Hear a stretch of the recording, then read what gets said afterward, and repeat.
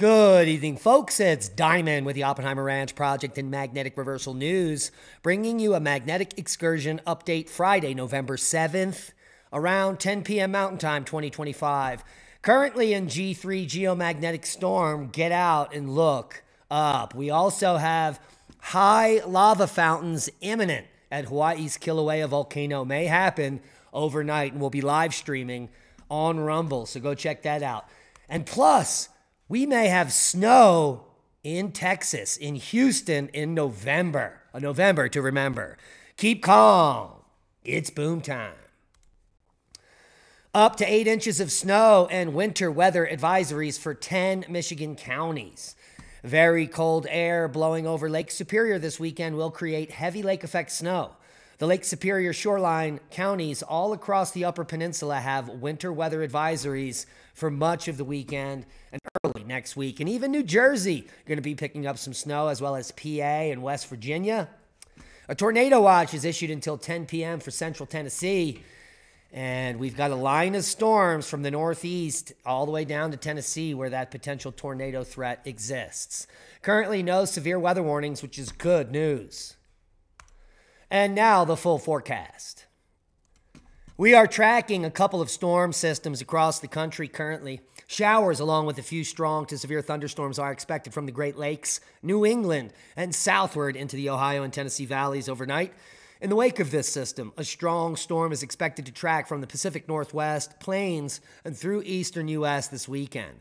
Strong winds, showers, and a larger drop in temperatures are expected this weekend and into Monday. Freeze warnings out for most of Oklahoma and Arkansas, so bring in those sensitive plants.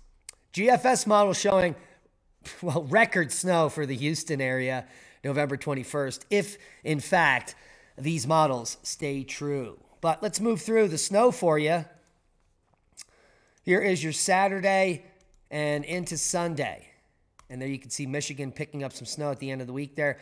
Monday, Tuesday, Wednesday, the Northeast is the big winter chicken dinner. Friday, Saturday, Sunday, November 16th and 17th, snow moving into the Northern Rockies and down all the way to Texas, the nexus of the Schmexus. Well, one can only hope that this model stays true. Total accumulated precipitation, show you if there are any flooding threats. Not really. Maybe until later in the week there in the south. Um, but I do digress. Seismic update. No real quakes of note. Some increased activity in Mexico, but nothing that significant. Cham- Kamchatka continues to rumble.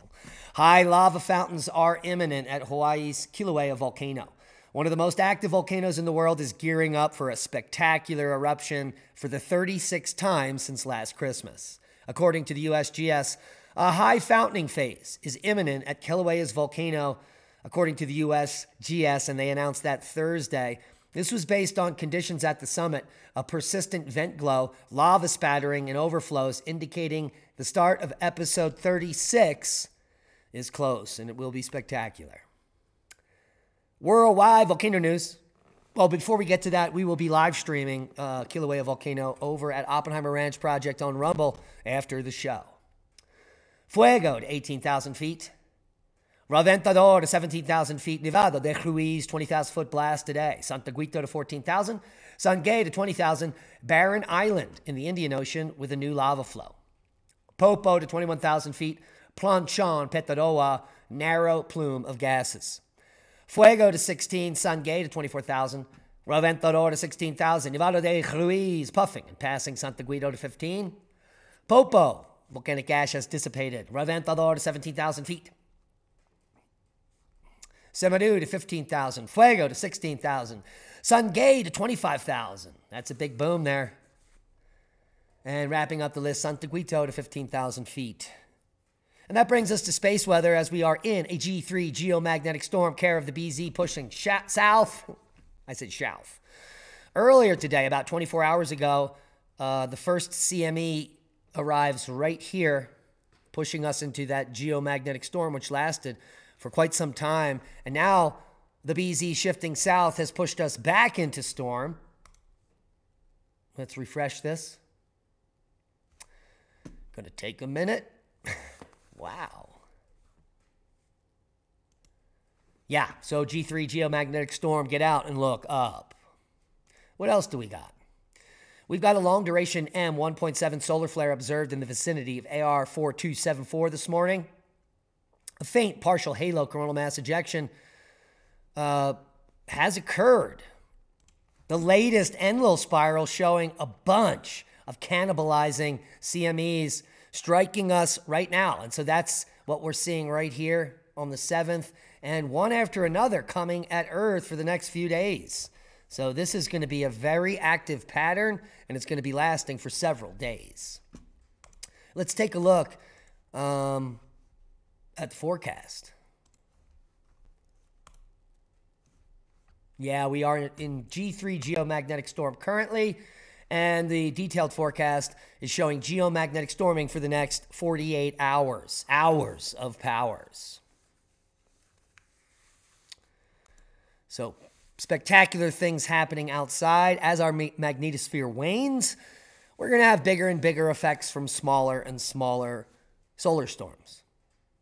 That's just the inevitable nature uh, and what happens during magnetic excursions.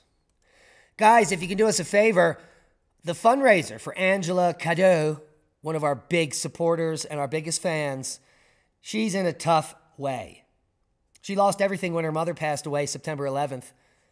Now her car broke down and we need to give her a hand. She needs a vehicle to find work so she can afford an apartment for her and her son. We're almost at the goal, 70% there. I want to thank each and every one of you who supported. All of you, most of you are anonymous. I did see one name I recognized in here, and that was Harvey Allen Bond. Thank you, Alien Allen. You always hook it up. Let's hook Angela up and get her back on her feet and get her a car. And that's a boom to knowledge. Hit the thumbs up, share this video, do all those good YouTube things. And most importantly, be safe. We love you, and that is a boom.